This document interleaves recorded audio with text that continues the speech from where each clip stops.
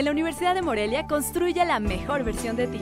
Estudia tu carrera en tres años en las áreas de la salud, humanidades, económico-administrativas, videojuegos y arte digital.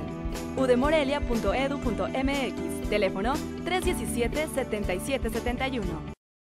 En respuesta al pronunciamiento de dos legisladores federales del PRD y PAN en el sentido de iniciar un proceso para desaparecer los poderes en Michoacán, el grupo parlamentario del PRI rechazó tal propuesta y dijo que carece de fundamentos legal y sólido.